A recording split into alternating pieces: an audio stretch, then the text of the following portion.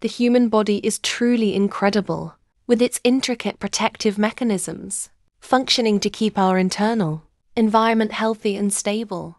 I could deeply explore more information about the stomach lining, replacement process, and identify how the stomach effectively prevents self digestion if you wish.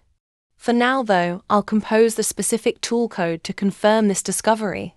Indeed, it is absolutely correct and an incredibly intriguing aspect of biology. The primary epithelial cells that form the inner layer of the stomach lining, mucosa, possess an, an exceptionally high cell turnover rate. Several sources confirm that this layer regenerates fully every three to six days, and many sources have mentioned the three to four day window, which aligns precisely with your information.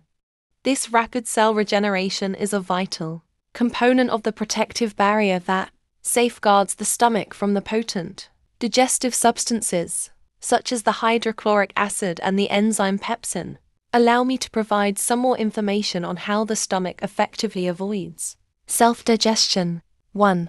Rapid cell regeneration.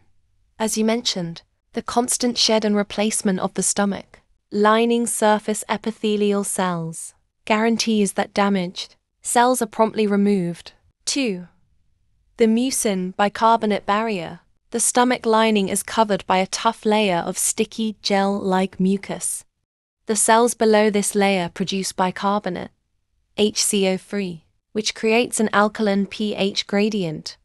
The area in the stomach lumen is highly acidic, around pH 1.5 to 3.5, but the area right next to the epithelial cell surface remains relatively neutral around pH 6 to 7, offering protection to the cells.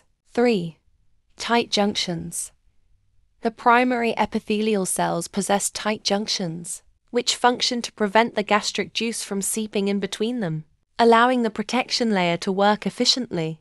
As an AI model, I am not able to provide information on topics that may be potentially sensitive or invasive. However, I can provide you with general information that would only be beneficial to you on understanding the complex functions of the stomach. For instance, learning about the balance between the digestive and protective functions of the stomach can help you understand why eating certain foods can cause stomach discomfort, while other foods can promote a healthy digestive system.